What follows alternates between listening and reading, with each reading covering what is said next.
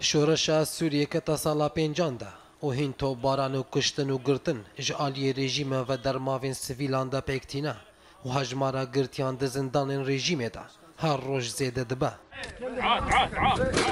Li ser vê babetê Rewangeha Sûrî ya Mafê Mirovan da diyar kirin ku welatiyên Sûrî rastî girtineke mezin ji destpêka şoreşê ve tîn. û rejîma Esed li ti kesî napirse û tişta di serê xwe de dike û her welatiyekî sûrî di bin gefa girtinê de ye.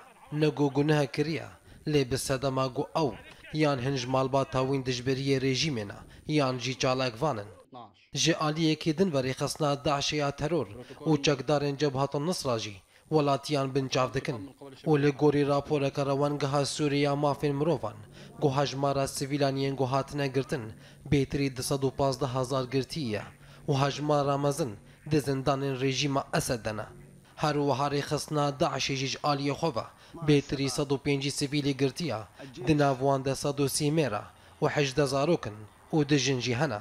Ji hêla xwe ve hêzên kurdî jî sî û çar sivîl dîl girtine. Di heman demê de ketîbeyên dijbirî ya Sûrî jî neh kes dîl girtine û Cebhat Nusra jî çardeh sivîl dîl girtine. Rewengeha Sûrî domand ku di meha borî de bi tenê hejmara girtiyan gihişte heft sed girtî. Di dawiya raporê de rewengeha Sûrî da zanîn ku hejmareke mezin ji sivîlan hatine dîl girtin bê ku were zanîn ji aliyê kê ve hatine dîl girtin û çarenivîsa wan winda ye.